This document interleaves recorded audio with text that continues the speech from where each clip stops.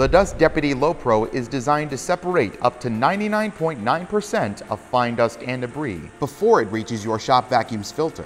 If you find it is not performing as such, check out these recommended tips. Due to variability in vacuums, bucket materials, and depending on your application, you may experience the bucket collapsing. Consider a bucket thickness of 90 mils or thicker.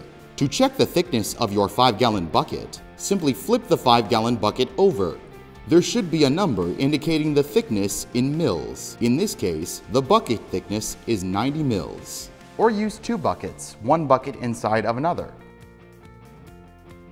In order for the bucket to collapse, while the sides do push in, there must be equal force pushing the other sides out. By utilizing two buckets, the sides of the second bucket act as a brace to prevent the sides from the inside bucket from pushing out and thus creating more space for the other sides to push in. Either of these options will reduce the risk of bucket collapse. There also may be a blockage in the hose connected to the inlet of the Dust Deputy Low Pro. Make sure that there are no blockages in the hose and you're good to go.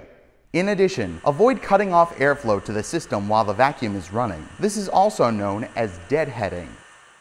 And if you have any questions, please don't hesitate to reach out to one of our systems experts by calling 866 387 8822. You can also visit oneida-air.com slash CST to complete a customer support request. Thank you so much for watching from Oneida Air Systems, the industry leader in dust collection. And we hope you enjoy your new Dust Deputy Low Pro Plus Lid Separator Kit.